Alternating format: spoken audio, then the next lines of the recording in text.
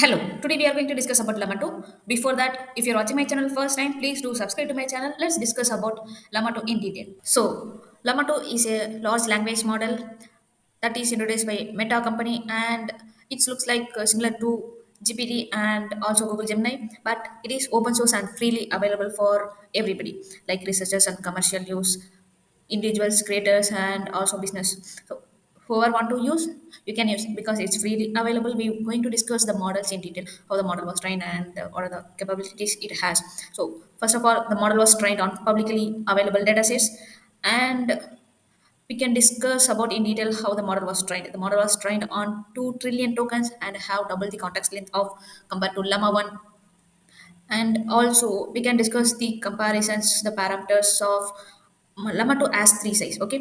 One is 7b 7 billion and 13 billion and 70 billion. This is nothing but the model's parameters.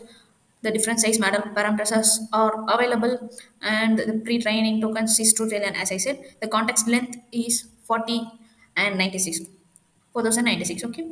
And we can quickly discuss the benchmarks between comparisons between other llm models. So here you can see this is the comparisons between different llm models like mpt and falcon llm llama 2 7b 13b and mpt is here also 7b and 30b falcon 7b and 40b llama 1 that is 65b and llama 2 that is the highest size 70b so here you can see the for multitask the llama 2 giving the almost 70 percentage comparing to other LLM models.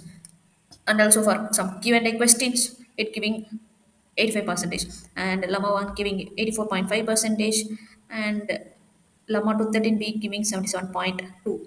So the highest one is the Llama 2 that is 70B and there are some other comparisons also available other uh, multitask. And one more thing the safety and helpfulness the reinforcement learning they have used like it's like a learning from human feedbacks okay? To ensure the safetyness and also the helpfulness so based on the human feedback they are pre-training and iteratively train the model. So if you want to start you just click here getting started guidance. So here you just click and start start the journey with 2 so here they have provided the steps how to use llama in local and also cloud services azure azure web app services like bedrock and ec2 instance and also sagemaker and different clouds also they have provided like google cloud platform vertex ai hugging face kaggle and also azure. All the cloud services also they have provided with llama 2 you can get started and try it out your end.